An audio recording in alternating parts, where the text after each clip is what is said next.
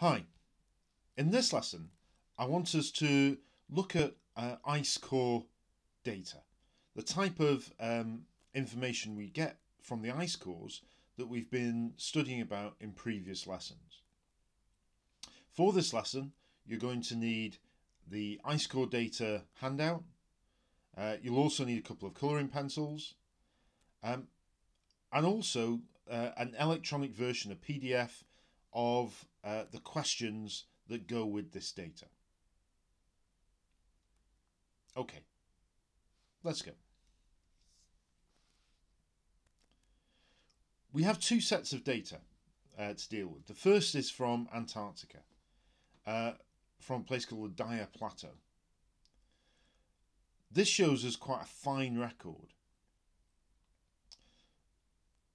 We need to try and relate uh, depth in this particular uh, core uh, to time. This particular core was taken in the late 1980s, and we do have one um, uh, datable layer within this. Um, the radioactive particle layer, which we know came from Russian uh, atomic tests that were taken that took place in 1964. Okay. Work through those questions using that graph. Remember the questions uh, are also available to you uh, on the PDF that's been sent out. The second part of this test then looks at uh, a different core, this time from Greenland. And we can see a record now uh, represented in a different way, this time using uh, time as our vertical axis. Have a go at those questions uh, either from uh, the slide you can see at the moment or again from the PDF. So now's the time to press pause, work through those questions on that worksheet,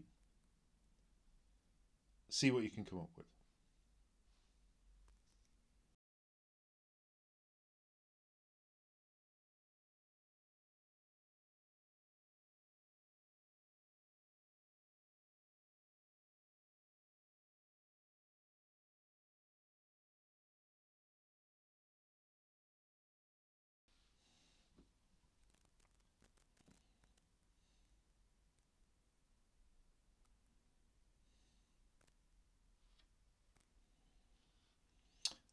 Okay then, let's start by me just showing you, more for the sake of interest than anything else, where the Dyer Plateau is uh, on the Antarctic Peninsula there.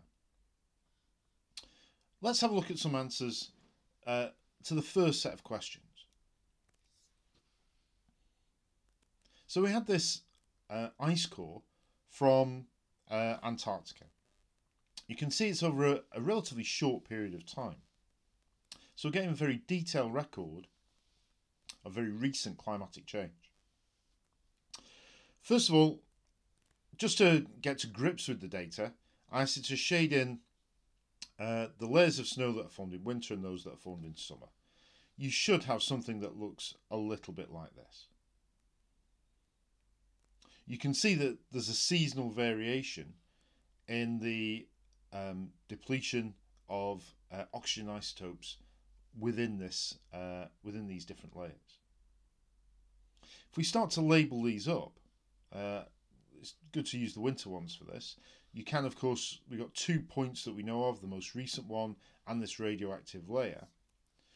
We end up with results that look a little bit like this. Notice how, uh, as we get more recently, these uh, labels get a little further apart. We'll come back to that. I then ask you to work out the age of the bottom layer on this graph. You should find that's about 1953. Do we then have the number of winters and summers corresponding with the number of years that the snow was accumulating? Well, yes, by and large, but we can see that some of these records aren't particularly brilliant. Um, there are some bits that are a little bit confusing, particularly where we get some um, perhaps warmer winters. Um, for example, if we look at uh, the winter of 1988, um, you can see that that yeah, where do you actually draw the line there? It, it, can be a little bit tricky. If we look at the um, mean rate of snow accumulation in, in this area, we've got about 33 metres over 35 years, uh, gives us about 94 centimetres a year, 0.94 metres.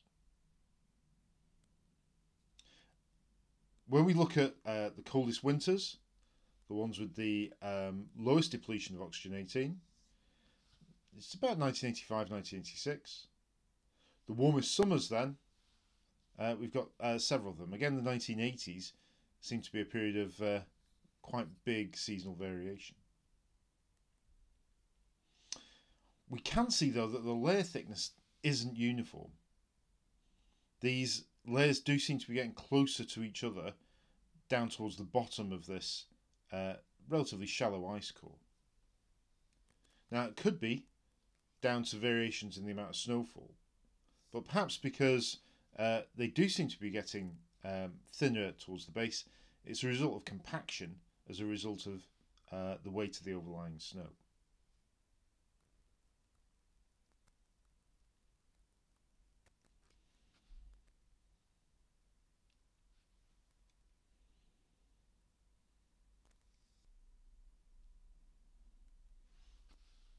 Okay, if we think about uh, the answers to the, the second question then, this one about uh, the GRIP ice core in Greenland, which you can see is right in the middle of the Antarctic ice sheet. So we should get a, a, a, a long continuous record of um, snow deposition there. You can see that the timescale we're looking at for this core is much, much longer. We also have um, perhaps a different type of record as a result. If we try and read off uh, some of this data, we can see then that we have the percentage of uh, depletion of oxygen 18 today is about uh, 3.5%. If we go back 13,000 years ago, it was about 4%. So, as a result of this, the change in worldwide temperatures that there's been over this time period is it warmed.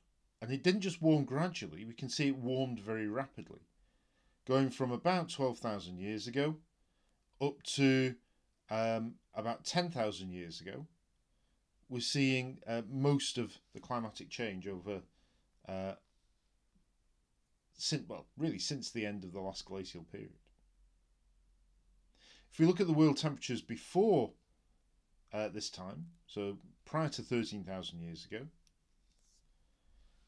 we can see that the temperature is cold. We're getting glacial conditions. There is fluctuation within that, but these conditions are glacial. The final question then sets a statement for us to evaluate that the fluctuations in climate recorded in uh, ice cores as a result of human industrial activity. Well, in this particular case, clearly they're not. These are too old. We're seeing uh, a cyclical change here, but we're also seeing um, a change over 50,000 years. We think about our industrial history and when we actually started putting uh, greenhouse gases into the atmosphere on a, on a large scale, it's at most maybe 200 years. How far down our scale is this? How would this be represented on this particular graph? We can see that um, yeah, it's going to be a tiny, tiny proportion of this graph. Now, we always, always must take account of scales when we're um, interpreting this geological data. You need to take a great deal of care with it. Don't make any assumptions. Always read the graph carefully.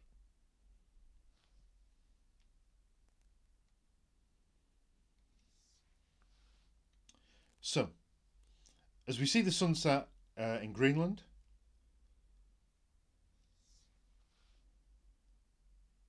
and we think about our conclusions, ice cores do give us really good data about climate. Clearly, the changing uh, proportion of oxygen isotopes is related um, to the climate. We also remember get other data from these um, from these uh, cores. We get uh, dating evidence, like the radioactive layer.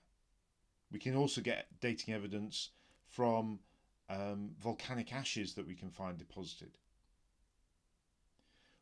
Remember, we can also link this to samples from the atmosphere. We can make a direct link because of the oxygen isotope data that we know is responsive to temperature with the uh, atmospheric composition that existed in the past and directly correlate them, we can come up with a very powerful evidence for um, the link between relatively small changes in uh, atmospheric carbon gases and the temperature changes that occur as a result. It's a key piece of evidence by going back into the geological past for present day uh, anthropogenic climatic change.